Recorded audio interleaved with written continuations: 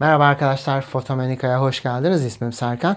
Bugün Action 4 ile Action 3 ve Hero 11'i karşılaştıracağız arkadaşlar. Hero 11 ve Action 3'ü diğer videolarımda detaylı olarak incelemiştik. Eğer Hero 11 ve Action 3 ile ilgili bir konuyu merak ediyorsanız o videolara göz atmanızı rica ediyorum. Ancak bu videodaki amacımız özellikle Action 4'ü inceleyip GoPro Hero 11 ve Action 3 ile karşılaştırmak. Zaman zaman GoPro Hero 11 ile Action 4'ü karşılaştıracağız. Zaman zaman Action 3 ile Action 4'ü karşılaştıracağız.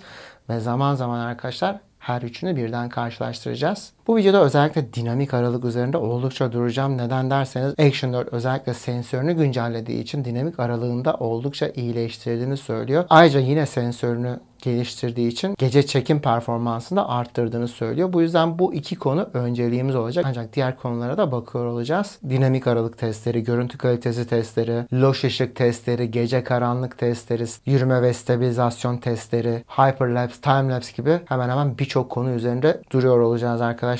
Ancak hava koşullarından dolayı su altı çekimlerini bir türlü gerçekleştiremedim. Bunun sebebini de videoda göreceksiniz. Su altı çekimlerini başka bir videoda paylaşmayı düşünüyorum. Havalar biraz düzeldiği zaman. Ayrıca bu videoda bazı teknik analizler yapıyor olacağız. Ancak bu teknik analizler %100 güvenli değil arkadaşlar. Çünkü bunlar oldukça yoruma açık. Aynı zamanda bu kameraların çok farklı algoritmaları var. Işıktan ışığa değişen sadece sensör değil yazılımsal olarak da değişen algoritmaları var arkadaşlar. Bu yüzden her analiz aynı sonucu vermeyebiliyor. Peki öncelikle bir kasalarına bakalım ne gibi yenilikler var. Ondan sonra videomuza başlayalım arkadaşlar.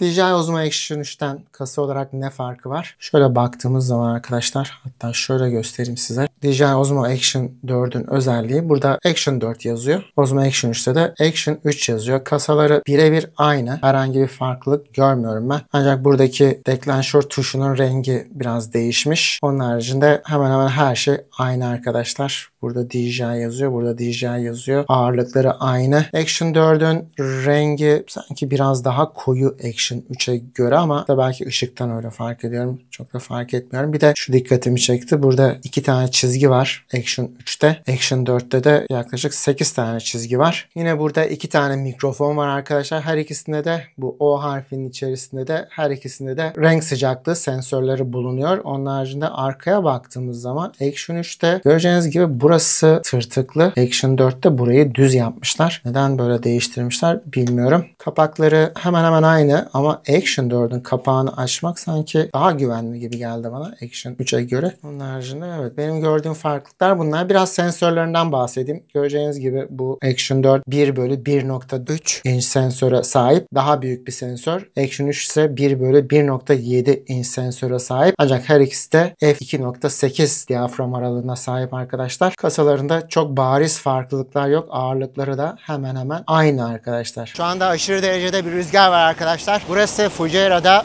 Snoopy Island diye geçiyor ve o adaya götürecektim. Çok güzel su altı görüntüleri çekebilmek için ancak dalga boyu çok yüksek ve boğulma riskim var. Çünkü orası çok yakın değil. Biraz yüzmem gerekiyor. Ancak orada yüzmeye başladım mı inanılmaz derecede güzel bir su altı manzarası var. Bugün olmasa bile başka bir gün sizi oraya götürmeye çalışacağım. Aşırı derecede rüzgar olduğu için de bir ses testi yapalım arkadaşlar. Bu Osmo Action 3'ten gelen ses. Bu Osmo Action 4'ten gelen ses. Ve bu da GoPro Hero 11'den gelen ses. Rüzgarlı ortamlardaki mikrofon kalitesi testlerine baktığımız zaman burada en boğuk ses genelde GoPro Hero 11'den geliyor. Ancak Action 3 ile Action 4 arasında mikrofon kalitesinde çok büyük bir fark görmedim. Yalnızca arka plandan gelen hışırtı sesi biraz farklı tonlarda geliyor. Aynı zamanda bu mikrofonları değiştiriyor olacağım arkadaşlar. Bir mikrofondan diğerine alıyor olacağım. Diğer kameranın mikrofonunu alacağım. O yüzden ses işareti gördüğünüz yerde o mikrofonu kullanıyorum demektir. Ancak mikrofon kalitesi çok kötüyse kendi mikrofonumla devam edeceğim. Aynı zamanda da stabilizasyon testlerine bakıyoruz arkadaşlar. Action 3'te şu anda Horizon Balancing açıldı. Action 4'te şu anda Horizon Balancing açıldı. Ve GoPro Hero 11'de de Linear artı Horizon Leveling açıldı arkadaşlar. Hepsinde de 30 FPS çekiyorum. GoPro'yu bu seferki testimde Vibrant renk profili değil arkadaşlar. Normal renk profili çekiyorum. Çünkü karşılaştırabilmesi çok daha kolay ancak bu GoPro Hero 11 için bir avantaj. Çünkü Action 4'te sadece normal renk profili var ve bu normal renk profili kimilerimize göre çok doğal, çok güzel geliyor. Ancak kimilerimiz özellikle GoPro'daki Vibrant renk profilini daha çok seviyor. Ben de açık söylemem gerekirse GoPro'daki Vibrant renk profilini daha çok seviyorum. Ancak bunlar görüntü kalitesini etkileyen şeyler değil. Bunlar sadece renkler arkadaşlar ve Action 4'te de yine renkleri değiştirebilme şansınız var. Şu anda sırtımı yine güneşe aldım. Böylece dinamik aralık testlerini de yapıyor olacağız. Özellikle Action 4 daha iyi bir dinamik aralık elde edebileceğimizi iddia ediyor. Yeni sensörü sayesinde. Ancak HDR'da kaldırdım diyor. O yüzden bu şu anda normal olarak size dinamik aralığı yapıyorum. Action 4 biraz Action 3'e göre eksi pozlamış gibi görüyorum. Biraz daha karanlık bakın. Gökyüzündeki detaylar biraz daha belirgin ortaya çıkmış ama gölgelerdeki detayları da biraz kaybetmiş gibi görünürken Hero 11 de aynı şekilde bu ikisi kasıtlı olarak eksi olabilir. Bakacağız onlara. Ancak Action 3'te de biraz böyle parlak alanlardaki detaylar kaybolmuş görünüyor. Ancak teknik detaylarına bakacak olursak göreceğiniz gibi Hero 11 biraz eksi pozlamış. Action 4 de biraz eksi pozlamış ve eksi pozlarken azıcık da olsa gölgelerdeki detayları kaybetmiş ve Action 3'e bakacak olursak gölgelerdeki detayları korumuş gibi görünüyor. Bu sahnede biraz daha Hero 11'in dinamik aralığı daha yüksek diyebilirim. Çünkü evet biraz e, üstten eksi pozlamış ama gölgelerdeki detayları daha fazla da korumuş. Ama Action 3'te Action 4'te çok bariz bir fark görmüyorum arkadaşlar. Başka sahnelere de bakacağız. Ancak şu anda Action 3'ü HDR olarak yapacağım arkadaşlar. Action 4 artık GoPro Hero 11 gibi kendinden daha yüksek dinamik aralık verdiğini iddia ediyor arkadaşlar. Bu sahnede tek değiştirdiğimiz Action 3'ü HDR moduna aldık ve Action 4 normal renkteyken Hero 11 natural renkte arkadaşlar. Burada baktığımız zaman Action 3 ile Action 4 arasında çok büyük bir farklılık görmüyorum arkadaşlar. Hero 11'de biraz farklılık görüyorum ancak Hero 11 biraz eksi pozlanmış gibi görünüyor. Hatta Action 4'te çok azıcık Action 3'e göre özellikle parlak alanlardaki detayları koruyabilmek için ilk bakışta eksi pozlanmış gibi görünüyor. Teknik detaylarına bakacak olursak Action 4'teki HDR özellikle parlak alanları taşırmamış. Gayet e, iyi bir seviyede duruyor. Yüzün altında ve gölgelerde sıfırın üzerinde dururken Action 4 göreceğiniz gibi biraz özellikle parlak alanları daha fazla kısarak bu sonuca varmış ve Hero 11'de aynı şekilde biraz daha parlak alanları kısarak daha yüksek dinamik aralık elde etmiş. Ancak bu sahnede Action 3'teki HDR her iki kameradan da daha iyi bir dinamik aralığa sahip gibi görünüyor. Ancak arada çok bariz anlaşılabilir büyük farklar yok arkadaşlar. Açılarını değiştirdim arkadaşlar. Action 3 ile Action 4 arasında özellikle lenslerinde çok büyük bir farklılık yok. Açılarında büyük bir farklılık yok. Aynı lensler, aynı açılar. Ancak burada belki bir sürprizle karşılaşıyor olabiliriz arkadaşlar. Onu da test edelim bakalım görelim emin olalım. GoPro Hero 11'de Hyper View var arkadaşlar. Biraz dijital olarak oluşturulmuş ve kenarları biraz böyle genişleterek ve biraz da böyle yamultarak oluşturulmuş e, bir modken Action 4'teki ultra geniş açı kendi doğal lensinin oluşturduğu bir açı arkadaşlar. Hangisi daha geniş açı o önemli. Hemen hemen aynı sonuçları alıyoruz arkadaşlar hasta esas genişlik açısından ancak Hyperview dijital olarak oluşturduğu için çoğu durumda kenarlarda köşelerde çok fazla eğilme yamulma yapıyor ancak doğal olmayan eğilme yamulmalar yaparken Action 4 daha doğal olarak eğilme yamulmalar yapıyor kenarlarda köşelerde ve birçok durumda Action 4'teki ultra geniş açı Hero 11'deki Hyperview'e göre çok daha iyi sonuçlar veriyor. Bir de arkadaşlar lineer modlarda hangisi daha geniş açı çekiyor? Action 3'te ve Action 4'te ikisinde de şu anda standart eğilmeyi düzeltme modları açık. Bu sefer de buradaki geniş açıyı test edelim arkadaşlar. Action 3 ile Action 4 arasındaki açılarda herhangi bir fark yok arkadaşlar. Ancak bu videoda dikkatinizi çekmek istediğim bir şey var. Action 3 göreceğiniz gibi HDR çekiyor. HDR çektiği için özellikle renkler çok dinamik ve canlı görünüyor. Ancak Action 4'teki normal renk profile baktığımız zaman renkler biraz daha soluk ancak biraz daha doğal ve natural görünüyor. Benim tercihim burada Action 3'teki HDR modu olmasına rağmen Action 4'te gayet doğal görünüyor arkadaşlar. Şimdi burada Action 4 tamam güzel. Sensörünü güncelledi. Işığa karşı daha duyarlı dinamik aralığını daha çok düzeltti. GoPro Hero 11'in sensörüne daha iyi bir sensöre sahip. Ancak GoPro Hero 11 Horizon Lock olarak 5.3K'da bile kayıt yapabiliyorken Action 4 Horizon Balancing yapıyor arkadaşlar. Yani ufuk çizgisini 45 derece dengeliyor. Bakalım. Bakın GoPro kamerayı çeviriyorum.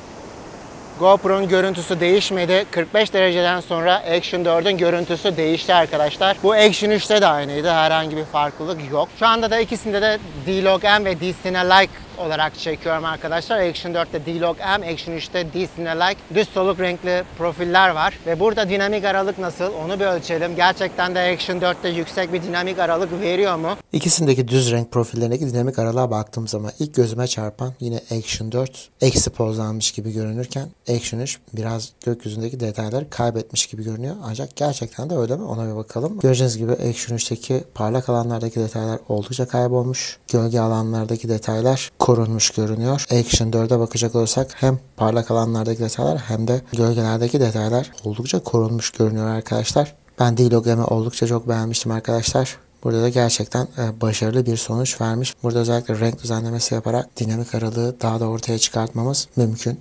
Action 4'te D-Log M açık arkadaşlar. Yine sırtımı güneşe dönüyorum ki dinamik aralığı görelim ve GoPro Hero 11'de de flat yani ikisinde de soluk düz renkli profiller var.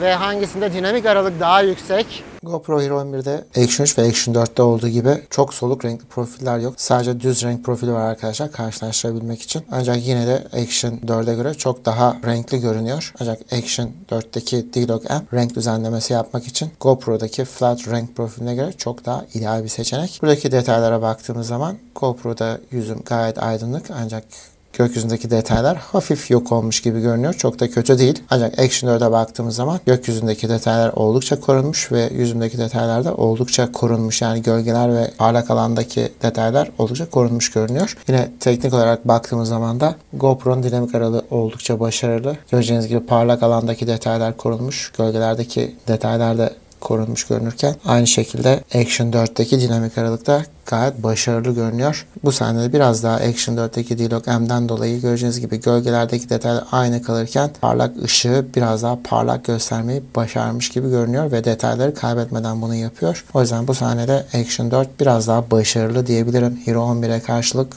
dinamik aralıkta.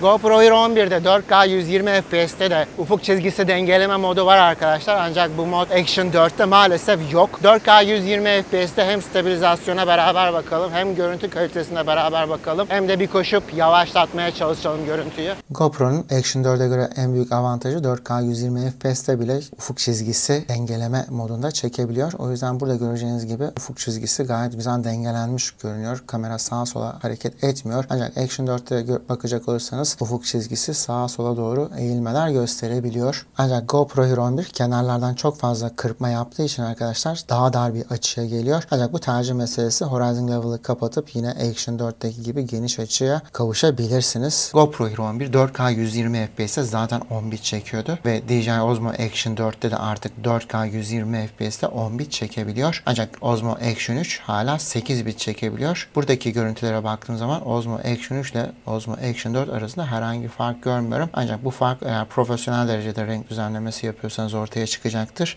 Çölde gün batımı çok güzel oluyor. Bu çöllerde inanamayacağınız bir güzellik yatıyor arkadaşlar ve burada özellikle gün batımını şu anda size gösteriyorum ve gün batımını gösterirken de aynı zamanda size şu anda dinamik aralığı da göstermek istiyorum. Şu anda Action 3 HDR'da. Action 4 ise arkadaşlar normal modda ama 10 bit çekiyor. Daha yüksek HDR gösteriyor mu? Burada ilk bakışta arkadaşlar özellikle gökyüzündeki turunculuk Hero 11'de çok bariz bir şekilde belli oluyor ve oldukça güzel görünüyor. Action 3'te gökyüzü çok daha aydınlık görünürken yüzün de çok aydınlık görüyor. Ancak Action 4 ve Hero 11'de yüzüm oldukça karanlık çıkmış görünüyor. Hero 11'de yüzüme biraz detaylı baktığım zaman arkadaşlar güneş arkamdan geldiği için yüzüme vuran gölgeden dolayı oldukça deformasyona uğramış gibi görünüyor arkadaşlar. Action 3'e baktığım zaman yine yüzüme gölge vurmuş. Ancak gölgelerdeki detaylar biraz daha iyi korunmuş ve cildimde daha az deformasyon olmasına rağmen eksi bir keskinlikte çektiğim için arkadaşlar birazcık bulanık görünüyor ama gayet doğal ve güzel. Biliyorsunuz Action 3'te keskinlik ayarlarını değiştiremiyorsunuz. O yüzden en yumuşak görüntüye sahip olan Action 3 gibi görünürken yüzümü de en aydınlık gösteren yine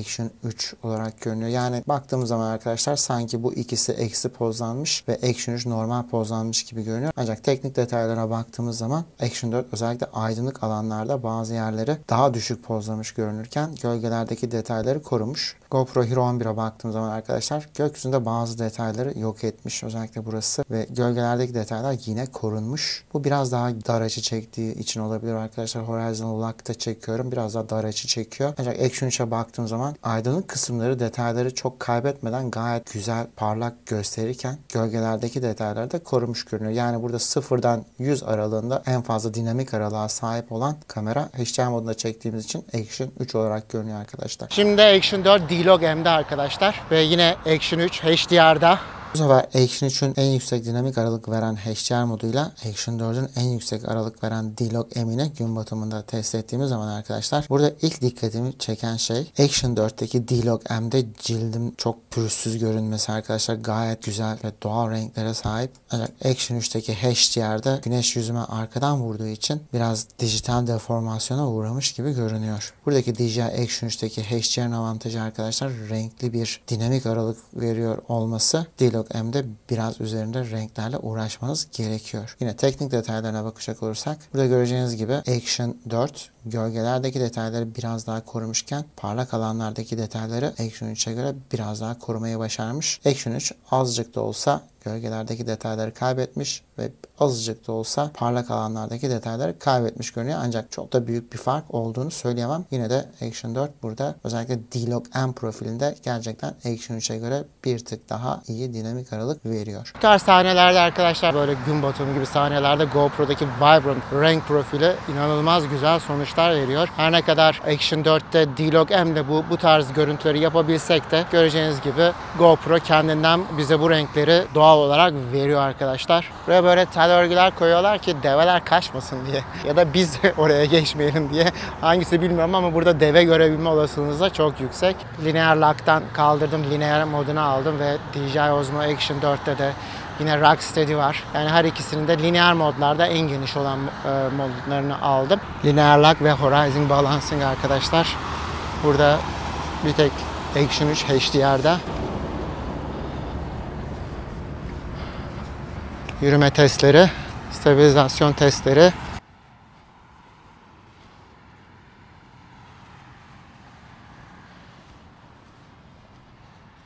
Hava da biraz karanlıklaştı arkadaşlar. Loş ışık, e, çok karanlık değil. Hangisi görüntüyü karanlıkta daha iyi veriyor ona da bir bakalım. Şöyle yandan da alayım. Aynı zamanda dinamik aralığı görürken Beni de görün bu şekilde ve yüzüme ışık gelsin, güneş ışığı gelsin. Şu ana kadar hep güneş arkamızdan gelirken testleri yaptık arkadaşlar. Bu sefer güneş yüzüme gelirken burada dikkatimi çeken ilk şey arkadaşlar yeni çıkan Action 4'teki keskinlik. Her ne kadar keskinliği eksi bir de alsam çok değişken otomatik keskinlik ayarlarına sahip sahneden sahneye çok değişkenlik gösteriyor arkadaşlar ve bu beni biraz rahatsız ediyor. Umarım bunu bir yazılım güncellemesiyle çözerler. Ancak burada Hero 11'e bakacak olursak yüzüme ışık vurduğu zaman oldukça doğal doğal bir görünüme sahip. Hafif bir deformasyon söz konusu. Evet çünkü 4 katı büyütüyoruz arkadaşlar. 4 katı büyüttüğümüz zaman bu kadar deformasyon olması çok normal. En doğal sonuçları Action 3 veriyor ve evet biraz yumuşak görüntüye sahip. Ancak dilersen bunu montaj programında bu keskinliği biraz daha arttırarak daha güzel sonuçlara ulaşabiliyorum.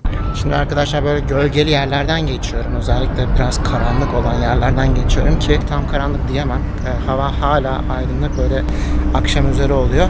Ancak burada böyle gölgeli ve aydınlık alanlarda nasıl sonuç verdiğini test ediyorum. Rüzgarsız ortamda mikrofon testlerine baktığımız zaman Action 3 ile Action 4 birebir aynı hiçbir fark yok. GoPro Hero 11 biraz farklılık gösteriyor ancak yine Action 3 ve Action 4'teki mikrofon kalitesi ikisi de Hero 11'den bence daha iyi. Ayrıca birçok arkadaş bana Action 3 için önereceğiniz bir mikrofon var mı demişti. Şu anda ben göreceğiniz gibi Saramonic Blink ve B2'yi kullanıyorum. Fena değil arkadaşlar. Bu mikrofonda inceleme videosunu yapmıştım ve aynı zamanda Action 3 ile de kullanmıştım. O videoya da bir göz atın isterseniz. Yukarıda ve aşağıda linklerde bırakıyor olacağım. Şu anda bulunduğum yer ise Alsif arkadaşlar. Yine Dubai'de inanılmaz güzel bir yer burası. Burayı böyle eski tarihi bir doku olarak yapmışlar ancak eski bir yapı değil. Ve şu anda da böyle bir floresan ışıklı yerden 30 FPS'te geçiyorum. Çok kullanmamam gereken bir şey. Ancak nasıl görünüyor? Göreceğiniz gibi bir Türk dondurmacısı var burada. Evet buraya da gezdirmiş oluyorum size. Çok güzel böyle dekoratif kapılar var. 30 FPS'te çekmeye devam ediyorum. Biraz aydınlığa geçip 60 FPS'e geçeceğim arkadaşlar. Bunun sebebi Action 3'te HDR var ancak 30 FPS'e kadar çekiyor. Ancak 60 FPS'e alırsam Action 3'te ne gibi bir farkı olacak onu görmek. Hadi geçelim bakalım. Evet, şu anda da 60 FPS'teyim ve size şöyle botları göstereyim, tekneleri göstereyim arkadaşlar. Çok güzel bir kanal yapmışlar buraya. Hani Dubai'ye gelirseniz uğramanız gereken yerlerden bir tanesi. Aynı zamanda hepsini de lineer artı lock yani hepsinin en iyi stabilizasyon modlarını ayarladım. Horizon Balancing arkadaşlar ve 60 FPS'te devam ediyoruz. Hava biraz karardı. Çok ideal bir senaryo değil bu karanlık durumlarda 60 FPS çekmek. Ancak yine de burada hani kötünün iyisinden bir senaryo elde etmeye çalışıyoruz. Hangisi daha iyi çekiyor? 60 FPS çekmemem gereken bir ışık ortamı var şu anda. Action 3'te 4K 60 FPS'te HDR özelliği yok. O yüzden bir de 60 FPS'te test edelim arkadaşlar. Yine ışığın zor olduğu bir sahne seçelim. Bu sahneye baktığım zaman ilk dikkatimi çeken arkadaşlar Hero 11'de gökyüzü oldukça sarı turuncumsu bir renge bürünmüş gün batımından dolayı ve aynı sarımtırak renkleri Action 3'te görürken Action 4'te biraz daha böyle bir şu yüzeyler sarımtırak e, turuncu gibi bir renkle bürünmüşken gökyüzü normal renklerde görünüyor. Hafif mavilikler görüyorum burada. Gölgelerdeki detaylara bakacak olursak az bir şey Action 4 ve Hero 11 gölgelerdeki detayları kaybetmiş görünürken Action 3'te gölgelerdeki detaylar oldukça korunmuş görünüyor. Teknik detaylarına bakacak olursak arkadaşlar özellikle Action 4 gölgelerdeki detayları oldukça öldürmüş. Şöyle bir clamp dersem buna daha net görebilirsiniz burada. Ancak parlak alanlardaki detayları korumuş, çok hafif taşırmışken GoPro biraz parlak ışıktan fedakarlık etmiş. Aynı zamanda çok az bir şeyde gölgelerden fedakarlık etmiş. Yani Action 4 ile Hero 11 arasında çok büyük bir fark görmüyorum arkadaşlar. Sadece ışık pozlaması değerlerinde bir farklılık olabilir. Ancak Action 3'e baktığım zaman özellikle parlak alanlardan oldukça kaybetmiş görünüyor. Aydınlıktan karanlığa geçişte GoPro Hero 11 daha karanlık gösterirken çok fazla karıncalanma olduğunu görebiliyorum. Ancak Action 3 ile Action 4 daha aydınlık çekmeyi başarıyor. Ve yine bu sahnedeki dinamik aralığa bakacak olursak arkadaşlar Action 3 ile Action 4 detayları oldukça korumuş görünüyor arkadaşlar. Ancak ışık geçitlerine tekrar bakacak olursak en başarılı sonucu GoPro Hero 11'in verdiğini çok rahat görebiliriz. Her üç kameradaki yürüme testlerine bakacak olursak arkadaşlar üçünde de yürüme adımlarım oldukça belli oluyor ama üçü de oldukça başarılı sonuçlar veriyor. Bu GoPro Hero 11'deki yürüme testi, stabilizasyon testi, bu Action 4'teki yürüme testi, stabilizasyon testi ve bu da Action 3'teki yürüme ve stabilizasyon testi. Hepsi de hemen hemen aynı. GoPro'da 25 FPS'e geçmek için gerçekten de çok zor arkadaşlar. Yapmanız gereken şey 60 Hz'den 50 Hz'e almak. Action 4 bu konuda oldukça başarılı. Çok basit bir ayarla 25 FPS'e geçebiliyorsunuz arkadaşlar. Burada şu botlardan alıyorsunuz arkadaşlar ve karşıya geçiyor. Karşısı da eski e, Dubai diyorlar Deira tarafı. Alışveriş yapmak için özellikle orası çok ideal bir yer arkadaşlar. Fiyatı sadece 2 dirhem. Çok ucuz ama yolculuk da zaten 2-3 dakika kadar sürüyor. Yani çok uzun da bir yolculuk değil. Ancak bot turları böyle yarım saatte 100 dirhem gibi yani 100 dirhem yaklaşık 30 dolar, 2 dirhem de yaklaşık yani 50 dolar sent gibi bir para yapıyor. Action 4'ün Action 3'e göre şöyle bir avantajı var. Bu sizin için çok önemli olmayabilir ama benim için çok önemli arkadaşlar. Action 3'ü kapattığım zaman, kayıt düğmesine bastığım zaman arkadaşlar en son yaptığım ayarda tekrar kayda başlamıyor. Ancak Action 4 en son yaptığım ayarda kayda başlıyor arkadaşlar. Şu ana kadar GoPro'ya 5.3K'da çektik arkadaşlar. Şu anda 4K'da çekiyoruz ve gördüğüm kadarıyla 4K'da GoPro oldukça başarılı sonuçlar veriyor. Hatta 5.3K'ya göre daha başarılı sonuçlar birçok durumda aldığımı söyleyebilirim size. Action 3 ile Action 4'e baktığımız zaman Action 3 biraz eksi pozlamış gibi görünüyor. Biraz daha karanlık bir görüntüye sahipken Action 4 daha aydınlık bir görüntüye sahip. Cildime baktığım zaman Action 3 oldukça pürüzsüz görünürken tabi biraz keskinliği arttırmamız gerekiyor burada. Action 4'te keskinlik ayarları eksi 1 olduğu için hala biraz fazla keskinliğe sahip olduğunu söyleyebilirim. Çok azıcık da olsa cildimde dijital deformasyonlara sebep olmuş ama hiç de kötü olduğunu söyleyemem arkadaşlar. Gayet de başarılı. Hero 11'e bakacak olursak oldukça pürüzsüz gösteriyor cildime. Biraz böyle dijital makyajlama yapmış ve bunu başarılı da yapmış arkadaşlar. Göreceğiniz gibi burada kırışıklıklarımı tamamen yok etmiş. Biraz abartı olmuş ancak genel anlamda resmin bütününe baktığım zaman GoPro Hero 11 özellikle 4K'da her iki kamera göre hala çok daha iyi görünüyor. Ancak Action 4, Action 3'ten daha mı iyi? Evet keskinlik ayarları olduğu için biraz cildimdeki keskinliği arttırabiliyorum. Ancak onun haricinde ben kalite olarak çok büyük bir fark görmüyorum.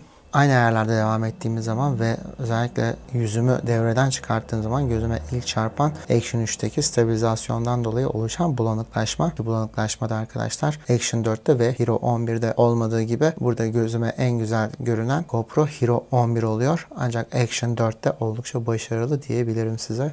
Her ne kadar çok beğenmediysem de arkadaşlar Action 4'te keskinliği ve gürültü önleme yani karıncalama önleme özelliği olması güzel. Ben bunları genelde minimumda kullanıyorum. Keskinliği eksi 1'de kullanıyorum ve e, akşam durumunda da Action 4'te gürültü önlemeyi de artı 1 olarak kullanıyorum. Action 3'te maalesef böyle bir özellik yok. GoPro Hero 11'de de biliyorsunuz e, gürültü önleme özelliği yok ancak keskinlik ayarları yapabilmeniz var. Onda da genelde medium'u tercih ediyorum. Gün batımında hyperlapse seslerine bakacak olursak burada Hero 11 özellikle gökyüzünü ve videoyu gereğinden fazla böyle sarımtırak ve yeşilimsi biraz renklere büründürmüşken Action 3 çok doğal renklere sahip. Ancak burada en çok hoşuma giden Action 4'teki HDR tarzı renkler arkadaşlar. Özellikle bulutların bir kısmını böyle turuncumsu yapmışken gökyüzündeki maviliği de korumayı başarmış. Ancak GoPro Hero 11'in her iki kameraya karşı en büyük avantajı Hyperlapse'de bile Horizon Lock modunun olması arkadaşlar. Bunun yanı sıra videoları hızlı geçişten yarım katı kadar yavaş çekime alabilirken Action 4 ve Action 3 sadece bir katı kadar yavaş çekime alabiliyor. Ancak bu sahnede GoPro Hero 11'in beyaz dengesinde ciddi bir sorun olduğunu düşünüyorum. Gece zaman aşırı çekimlere bakacak olursak arkadaşlar 3 kamerada birbirinden güzel sonuçlar veriyor. Herhangi bir farklılık yok. Biraz renklerde farklılıklar var. Ancak burada dikkatimi çeken Action 3 ve Action 4'te özellikle gökyüzünde bantlanma sorunu var. Video formatında çekiyorsanız bu sorun oluşuyor. Ancak fotoğraf formatında çektiğiniz zaman bu sorun oluşmuyor arkadaşlar. Action 4'te bunu düzeltirler diye umut ediyordum. Ancak herhangi bir düzeltme olmamış. Hava oldukça karardı arkadaşlar. Böyle aydınlık bir gecedeyiz. Işıklar falan var etrafta. Şu anda 1 bölü 50 perde değerinde çekiyorum hepsini de. Standart eğilmeyi önleme modları açık arkadaşlar. Yani lineer modları açık. Burada hangisinde daha iyi e, yüzümü görebiliyorsunuz, etrafı görebiliyorsunuz, karıncalanma oranı hangisinde daha iyi arkadaşlar onlara bakıyoruz. GoPro'nun maksimum kullanılabilir ISO'su arkadaşlar 1600 ondan sonra çok fazla karıncalanma yapıyor. O yüzden maksimum ISO 1600 de kullanırken Action 4 ve Action 3'te arkadaşlar maksimum ISO'yu 6400'e kadar zorlayabiliyorum. Özellikle stabilizasyondan dolayı oluşan ışık titreşmeleri oluşuyor mu şu anda onu da test edelim.